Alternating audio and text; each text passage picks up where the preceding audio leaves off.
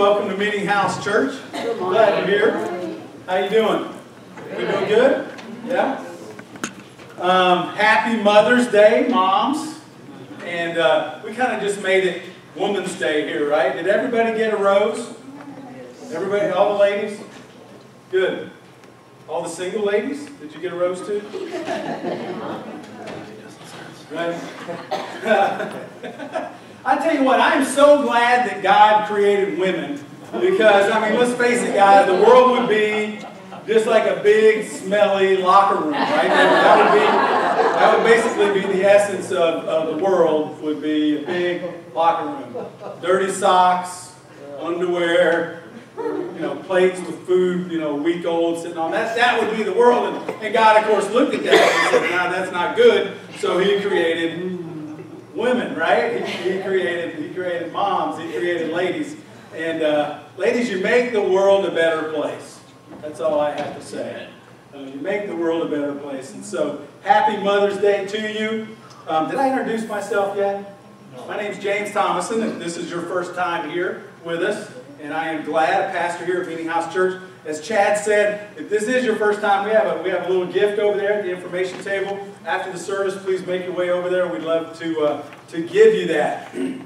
But we are in a Power to Change series. Uh, that's the series we're in right now. And in this series, we're looking at four different sources of God's power to change us in our lives.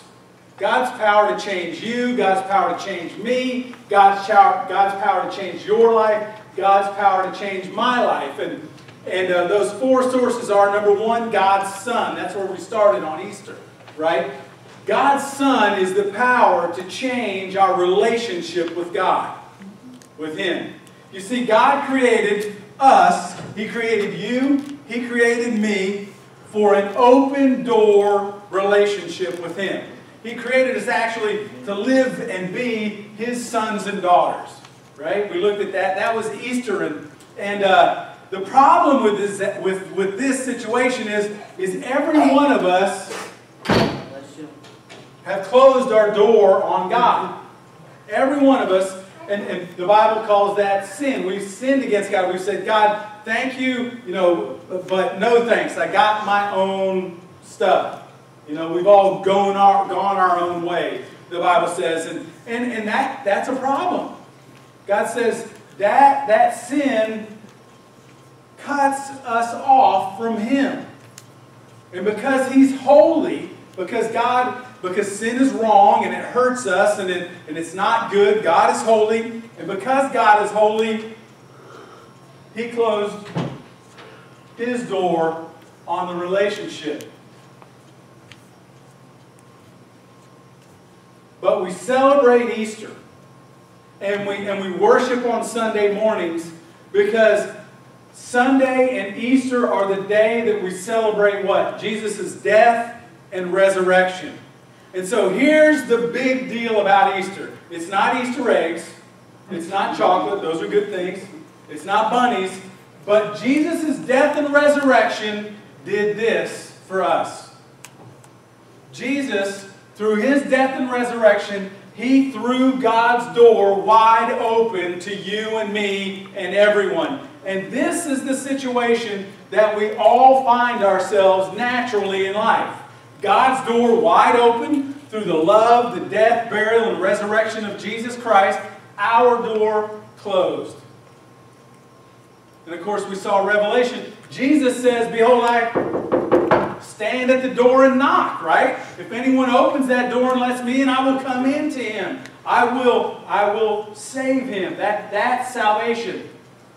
We open our door to Jesus Christ by repenting and believing in Him, by, by saying, God, I don't want that closed door relationship anymore. I'm turning away from, from me and my way. I'm going to do it your way. You know, no more Frank Sinatra. Um, I'm going to do it your way now. That's, that's how we do it. I believe that Jesus is the one who died and rose again to open your door for me. Please forgive me. And when we do that, when we come to that point in our lives, that's when salvation occurs. That's when the scriptures say our relationship with God changes. But that's not all that changes. Um, God actually moves in and takes up residence in us at that point. He changes us. So that's God's Son. God's Word uh, was, was a couple weeks ago. We need to take God's Word in to us. We need to, we need to renew our minds. We need, to, we need to grow in our relationship with Him. We need to, when we do that, when we, when we read, study, meditate on God's Word, God renews our mind, and that transforms us. That changes us. God's Word is power to change us. And then God's people, that's next week. God's people, the local church, are power to change. Today we're going to talk about God's Spirit, the Holy Spirit, because He is power. He is the one who changes us. And, and he, he has power to make change, to encourage us, to empower us, to strengthen us, to enable us to continue to grow and change. And so when we open our door to Jesus Christ, God the Holy Spirit moves in and, and, and His address becomes our address. He moves inside of us. Let's look at that. Acts chapter 2, verse 38. Peter has, uh, the Apostle Peter's just, just finished the sermon, thousands of people, and, and he finishes and they say to Peter, What should we do? In response to what he said, What should we do, Peter? And Peter says this. Peter replied, Repent and be baptized, every one of you, in the name of Jesus Christ, for the forgiveness of your sins, and you will receive the gift of the Holy Spirit. Okay? And you will receive the gift of the Holy Spirit. So we open our door, repent, right? That's what we just said. Repent. We open our door to Jesus Christ. That's the first step. That's, that's salvation. The next step of following Jesus, the very first step after we open our door to Him, is to be baptized. By the way, baptism class, June 1, right? immediately after this service. Baptism, June 8th, immediately after the, this service. Or no, we're going to have that in between services on June 8th.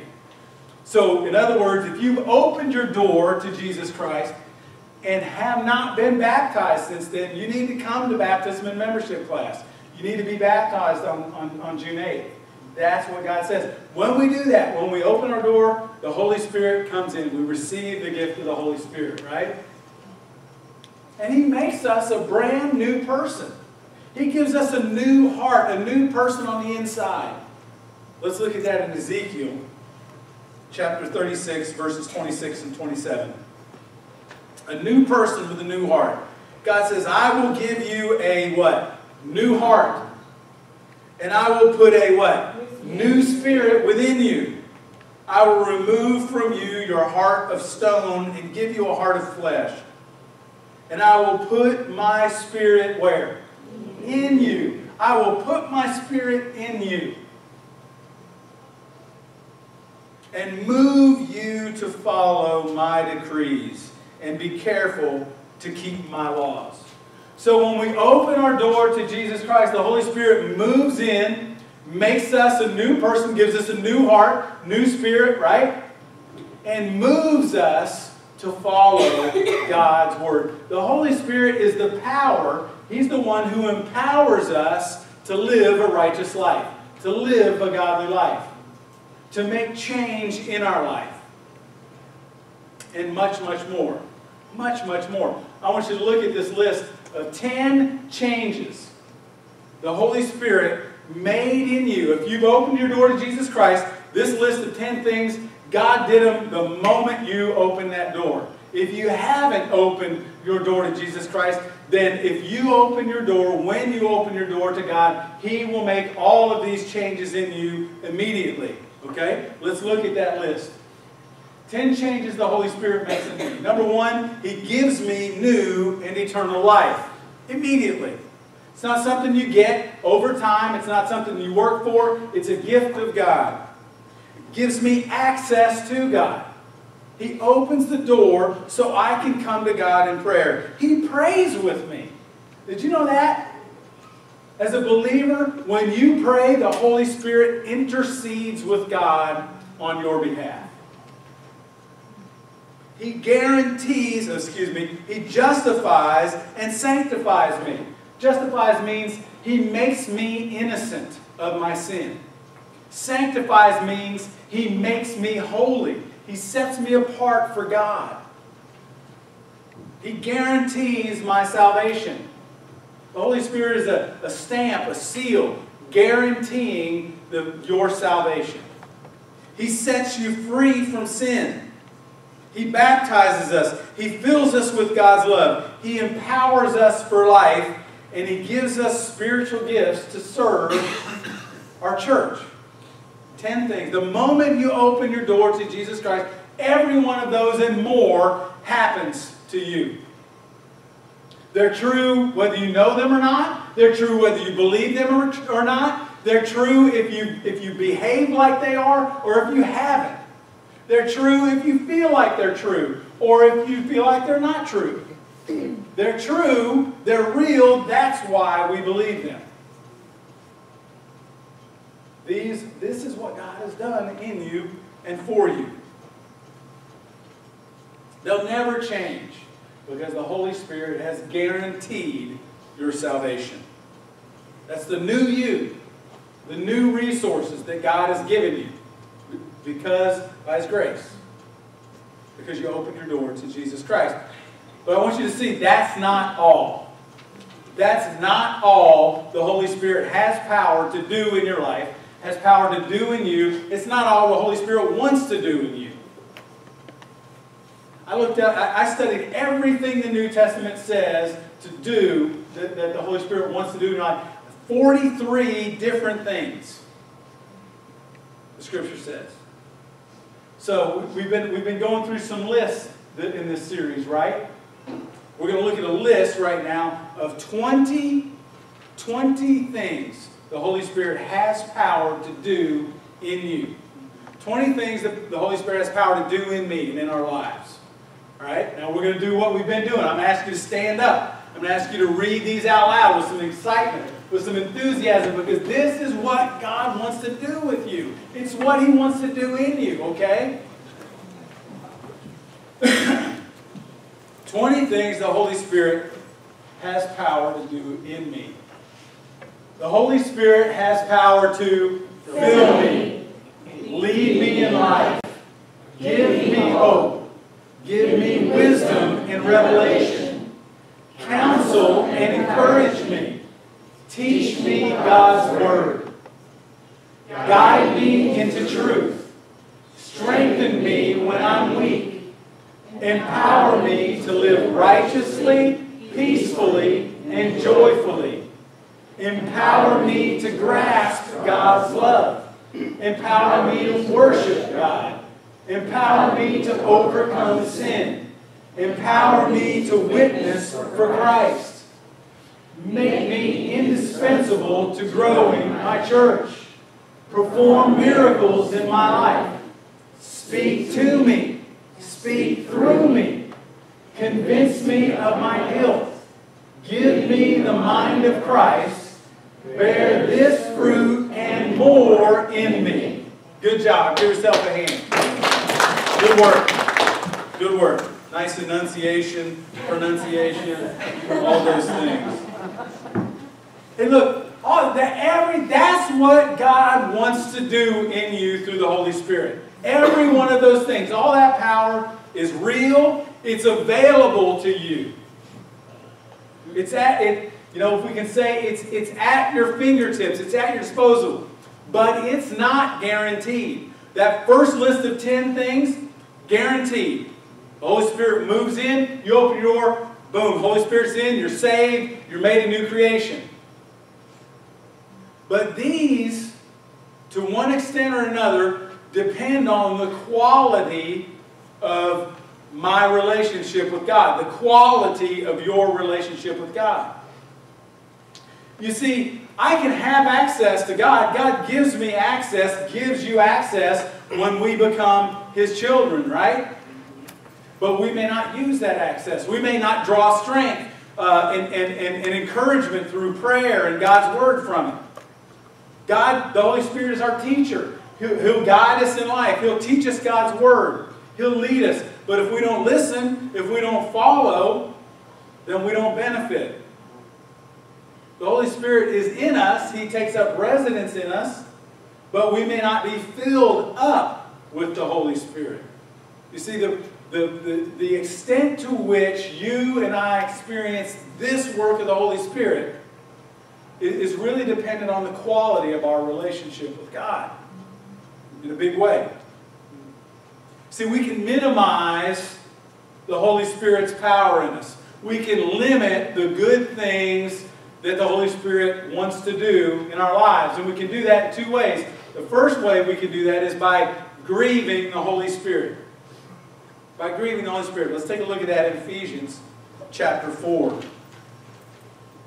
The Bible says, And do not grieve the Holy Spirit of God, with whom you were sealed for the day of redemption. What does grieve mean? What does it mean to grieve the Holy Spirit? The word the, the, the grieve means to cause physical or emotional pain.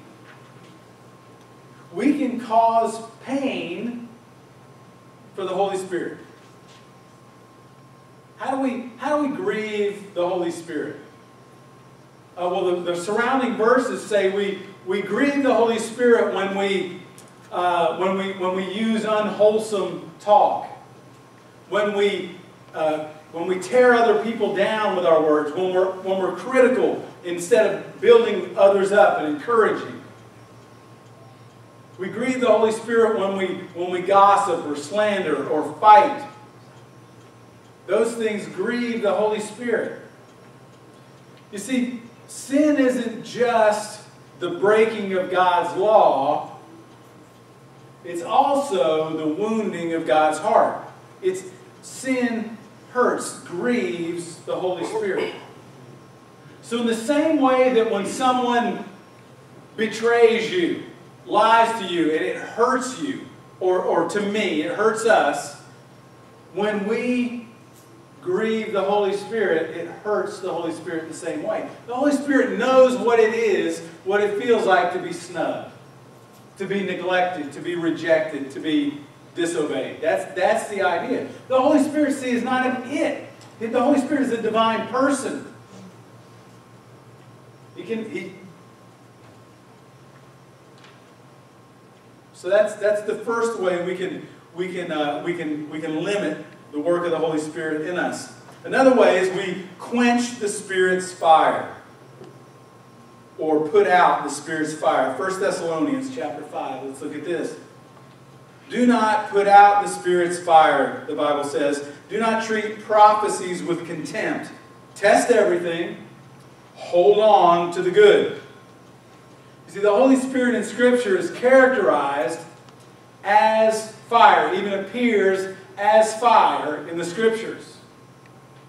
It's, it's, it's God's power and God's glory. That's the idea there. The Holy Spirit is powerful. It's not only God's God's glory and, and God's power, but it also, uh, the Spirit's fire also represents our excitement, our intensity, the intensity, the enthusiasm, the fervency of our, of our worship and service, of our love for God. That's the Spirit's fire. And the Bible says, don't, don't quench that. Don't put it out. Don't be a wet blanket on the Holy Spirit's fire. How do we, how do we do that? Well, it says, don't despise prophecies. Uh, that's a gift of the Holy Spirit. In general, we, we, we quench the Holy Spirit when we, when we diminish, when we downgrade, when we have contempt for the unique ministry and gifts of the Holy Spirit. And when we, when we try to be a wet blanket or, or, bring somebody down sides who's psyched up and fired up and filled with the Holy Spirit, about filled with excitement about God. You know, we like to do that sometimes, don't we? You ever do that? Somebody comes up to you, maybe a new believer, or somebody just, oh, you can't believe what God is doing in my life. Oh, God is so awesome. And you just like, you know, I, I, I need to take you down a couple notches. Let me, let me, let me clue you in on reality. You know, let me bring your feet back down on the ground. You ever done that? Let me bring you down a notch or two. Right? That's that's quaint. Don't don't don't be a wet blanket. Don't don't be a party pooper. Don't throw a bucket of water on the Spirit's fire. That's quenching the Holy Spirit. How else do we do that, you know? We do it, we're, we're, we're, we're praising God, maybe we're praying to Him, maybe you're reading His Word, uh, maybe it's here in church and we're singing, and, and God begins, the Holy Spirit begins to fill you up, and, and you feel like, man, I, you know, you, you want to you wanna, you wanna do away with that self-consciousness and, and worship God, and, and, and oh, and, and we, you got to, oh, I got to manage the Holy Spirit. I've got to, I've got to, I've got to keep up appearances. I've got to keep, you know. We put our, our hands in our pockets and, and, and, and we try to control and, and, and, and put out the enthusiasm and the fervency of the, that the Holy Spirit has kindled in us. God gives you an idea, a thought. Man, I should, I should share the love of God. I should share the gospel with this person. Oh no, that's too risky. Better put, better throw, throw some water on that deal, right? Uh, maybe I should, I should help here. Maybe I should give here. Maybe I should. No, that, that's just too. That's crazy. That's that. Better throw some water. That's what it means to quench the Holy Spirit's fire. We're not supposed to do that. Instead, we're supposed to test everything and hold on to the good. Test everything. So we're not talking about mindlessness here. We're not talking about being crazy. We test everything.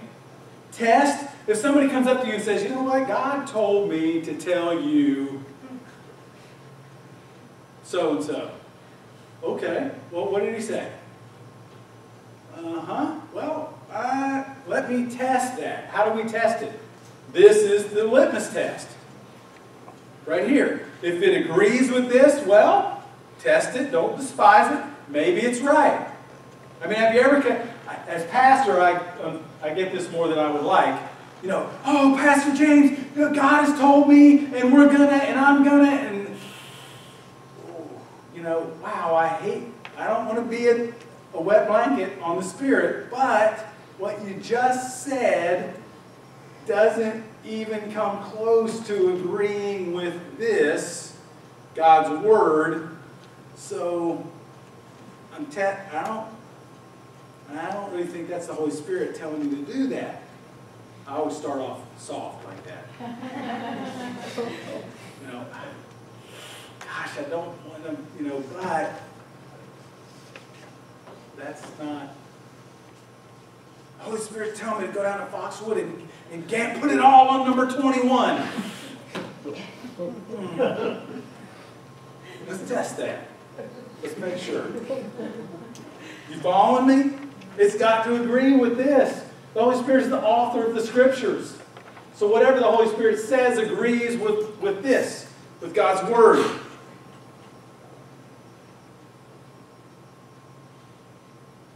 Uh, Christy and I, when we were uh, young in marriage, uh, thought, you know, how do we decide, you know, whether or not we should do, you ever been going along and you just get this idea, I should, I should in some way bless this person. You know, I should, oh, well, God, I should, I should get, I should, I should talk to this person. I should share the gospel with this person. I should pray for this person. I should, I, think this person needs something. I should give them something. You ever have those thoughts and ideas? And we'd say, well, how do we know? You know, how do we know if that's God or not? Well, and what we decided is, if, if we have that thought and, and it agrees with this, then it's the Holy Spirit. Because this is God's Word. So go for it. You know, if I have two jackets and I see somebody and it's wintertime and they don't have a jacket, and I think, wow, I should give one of my jackets to that person, that's the Holy Spirit. Why? Because that's what the Bible says. If you have two and you come across somebody who has none, then you give them one of yours. No brainer. Easy to decide. So we, we can quench the Spirit's uh, fire. Instead, we're supposed to test, then hold on to what is good. So that's what's not to do. Don't do that. Don't quench. Don't grieve. Now let's talk about what to do. How do we access the Holy Spirit? How do we how do we get in touch with? How do we how do we relate with the Holy Spirit in such a way that that He accomplishes and does everything He wants to do in us and, and for us and through us. How is it that we that we get the strength that we need to make the changes that we would like to make in life, that God would like us to make in life? Two commands, two more commands. Four commands in Scripture regarding the Holy Spirit. Don't quench, don't grieve. The next one, be filled with the Holy Spirit. Be filled with the Holy Spirit. Ephesians chapter 5. Being filled with the Holy Spirit is the key, folks. It is the key to having the, the presence, the power, the work, the encouragement, the joy, all of the, that list of 20 things. That's the key. It's the key to not quenching or grieving the Holy Spirit. Ephesians chapter 5. Do not get drunk on wine, which leads to debauchery. Instead, be filled with the Spirit. Speak to one another with psalms, hymns, and spiritual songs. Sing and make music in your hearts to the Lord. Always giving thanks to God the Father for everything in the name of our Lord Jesus Christ. So, so what does it mean to be filled with the Spirit? It means to be completely controlled by. That's the idea. That's what, that's what it means to be filled with the Spirit, to be controlled by the Holy Spirit. To let Him control what I think, what I say, how I act. You see the contrast with getting drunk there, right? Don't get drunk. Well, what happens when we, when we fill up on alcohol? Anybody ever done that? Yeah, I have. Not for a long time. It's been a while. I promise. Okay, long time. College. Real long time. Okay, but but what happens when you when you get drunk? You alcohol takes control of you, right? You say things you normally would not say. It, it affects the way you, you way you speak. It affects the way you think. It affects the way you walk. It affects the things that you do, right? Your judgment. Well, God, the Bible says, let the Holy Spirit control you. Be filled, let the Holy Spirit uh, control how you think. Fill you up in such a way that, that He can that, that, that He empowers and, and controls how you speak and how you walk and, and, and, and what you think and, and your judgments. That's the concept of being filled with the Holy Spirit. How do we get full of the Holy Spirit? It's right here in the text, right?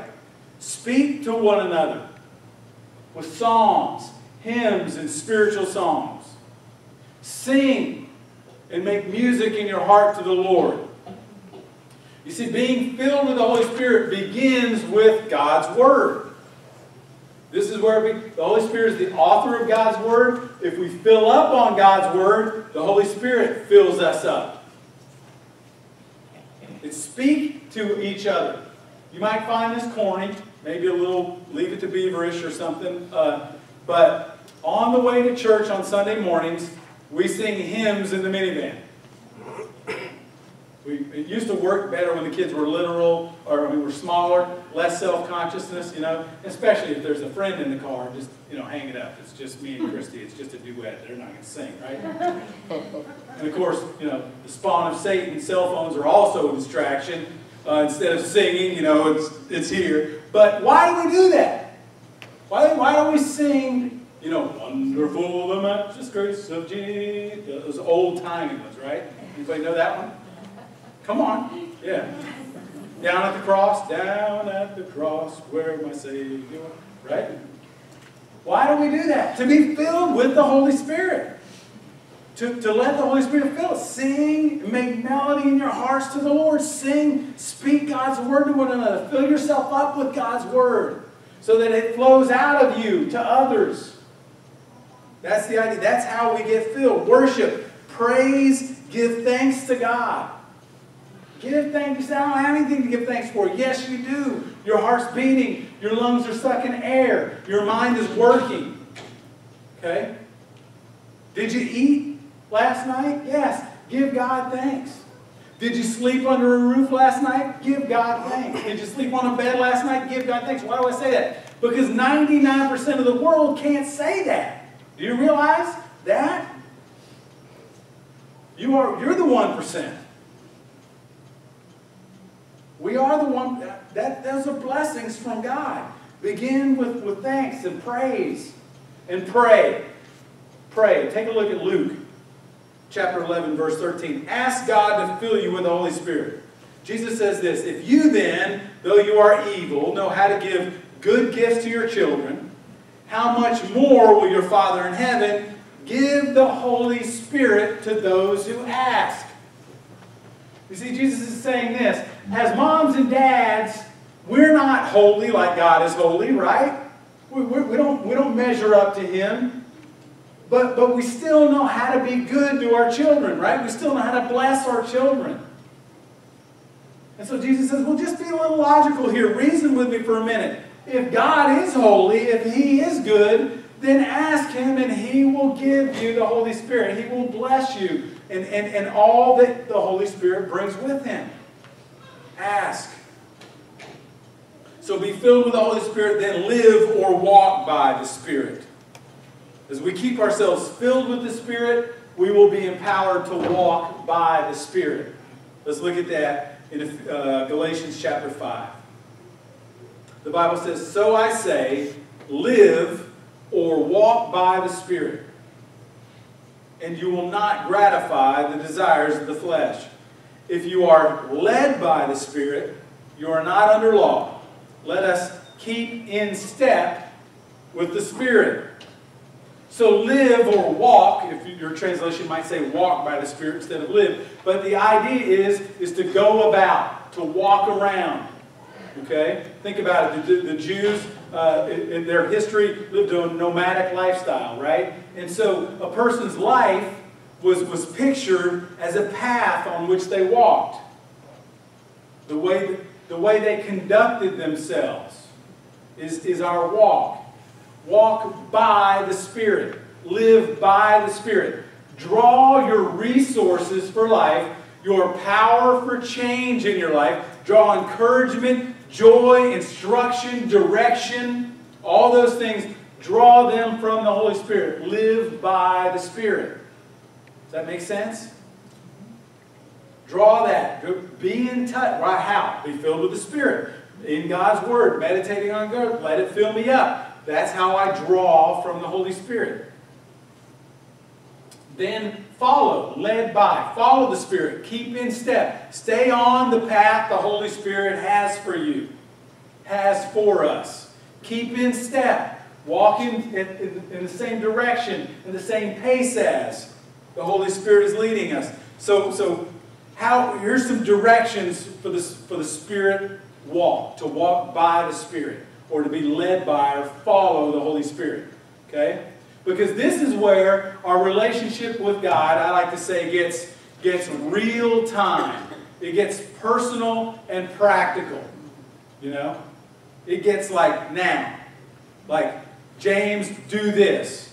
Uh, go say this. Um, give that. Uh, don't buy that house, buy this house. Don't take that job, take this job. God, the Holy Spirit, wants to have input into your life in that way. It's real time, it's personal, it's practical. So, what are the foundations and boundaries for that? This is the foundation of that. So if the Holy Spirit comes and says something to you that is not on top of this foundation, then it's not. You've misunderstood. If it's outside the boundaries of this, if it's contrary to it, then it's not, we've misunderstood. You following me? Why? Because the Holy Spirit wrote the Bible. These scriptures, the prophets were borne along by the Holy Spirit. All scripture is God breathed, spoken by God. Okay? So it has to agree with this. It's the foundation and the boundaries. Let's look at that in Genesis chapter 17, verse 1. This is what God said to Abram about walking by him, walking, walking in his in, before him. When Abram was 99 years old, the Lord appeared to him and said, I am God Almighty. Walk before me. Live before me. And be blameless. So God says to Abram, You are always in my presence. Live like it. God says to us, we are all, You are always in my presence. As a matter of fact, I, my presence is always in you. Live like it. Walk it. Make every decision in reference to God. Take every step in life in reference to God. Jesus said it like this Seek first the kingdom of God and his righteousness. Well, does that mean I need to pray about where I'm going to go to eat lunch? No. Right? We, we need to have some, some, some. So we're, not saying those kinds of things, but that's, that's important because some people, I think, have gotten off track with that a little bit. But in reference to God. But should I buy this house? Should I take that job? Should I go to this school or that school? You know, God has an opinion very often on those things. Sometimes He has a very definite opinion. Who should I marry? Should I marry this girl? Should I marry that guy? Is this even a is she even a candidate for marriage? Well, let's take that one for instance and just kind of walk through it. Number one, what does the Bible say about that? If I'm a, if I'm a follower of Jesus Christ, the Bible says that I should marry a follower of Jesus Christ. So that, that's kind of like decision maker number one, right? Is she a Christian? If not, then that's not the direction of the Holy Spirit. Is he a Christian? If not, then that's not the leading of the Holy Spirit. That's not the direction to follow. If she is, good, check. You know, number one, good, she is. She's really good looking, God, please. Come on, right? Let's be honest. Okay, so that, okay, so so is she is she walking by the Spirit? Sure, she she has the Spirit in her. She's been given new life. She, but is she living? Because I'm living by the Spirit. I want to walk. I want to do what God wants me to do. I want to have God's power work in me. Is she living that way? Are those her desires? Are those His desires? Yeah. Okay. Another green light. Looks good. You know. Move forward. I heard one youth pastor say that. Uh, great. I thought was great advice. Here's how you decide who you know if, if you should marry or not, or who is, you follow Jesus. You you walk the path. You keep in step with the Spirit. You do what you and, and you look around, and if you see a girl, you know, who's who's right beside you, in other words, keeping up, doing the same thing. If you see a guy who's right beside you, that's a good candidate.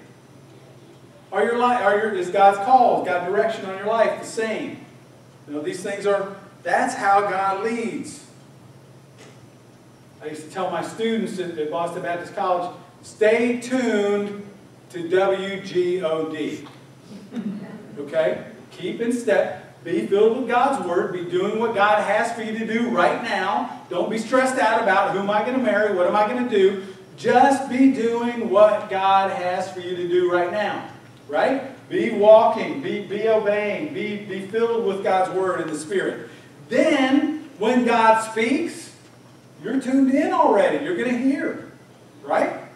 That The problem is, is a lot of times God speaks and we're not tuned in. And so we, what does God want? That's the idea. So let me ask you, will you, will you do what you need to do to be filled with the Spirit of God? Will you do what the Bible says you need, you got to do in order to have God, the, the, the, the encouragement, the peace, the joy, the presence, the, the changing power of the Holy Spirit in you. Basically, will you meditate on, on these lists? I'm going to send out lists with, with verse references, just like I have the previous few weeks. Will you read through those once a day? Will you look up the verses? Will you see what God has? Will you discover what God wants to do in your life? Will you let Him fill you up? if you if you will do that, make a commitment to yourself. Write that on your communication card. Drop it in the offering basket as it comes by at the, at the end of the service. Do that. Make that commit, commitment to yourself and God. Make it a little concrete. Let me ask you something. Have you opened your door to to Jesus Christ? Have you done, this is the first step. God wants to come into your life. He wants to forgive you. He wants to make you a new creation. He wants to make you his child. He wants you to make you a citizen of heaven in Christ's kingdom. He wants to uh, redeem free you from the power of sin. He wants to come in and encourage and give you joy, peace, strength, all those things. But we have to open our door first. We have to turn to Jesus and say, I, I, I'm guilty. Confession. Father, I've sinned against you. I've closed my door. We need to repent. God, I'm done with this closed door. I, I'm not going to live that way anymore. I want to follow you. Okay? Ask. When we do that, God forgives. We are saved. We, we become a new creation. Salvation occurs. God gives us new life. Ask God to fill you with His Holy Spirit. If you, if God is leading you to do that right now, if you, if you've never opened your door to God, to Jesus Christ in that way, I'm going to lead us in a small, in a, in a short prayer right now, okay, to end our service. And just, just voice that prayer. You can voice it in your mind or, or pray as best you can to God. Let's pray. Let's pray. Father God, first I just want to say thank you.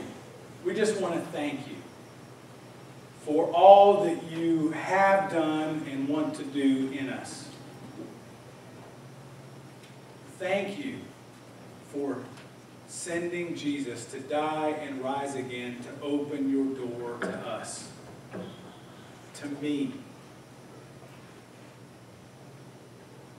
Father, right now, as best I know how, I am opening my door to Jesus. I agree with you. I have closed my door on our relationship with you. I am I'm, I'm repenting. I'm turning away from that, God. From no longer do I want to live a closed door life. I want to live in full fellowship and in full of your Holy Spirit. Father, I ask you to fill me with your Holy Spirit. I thank you for giving me new life. Jesus Christ's name, amen. Hey, if you prayed that prayer today, two things. Number one, will you let us know on that communication card and drop it in the offering basket? We want to help you grow. Today is the day of your salvation. That's what the scriptures say. Number two is you need to take the first step of following Jesus, which is baptism. Repent, be baptized, and receive the gift of the Holy Spirit. Will you sign up and, and attend baptism class? All right? God bless. Have a great day.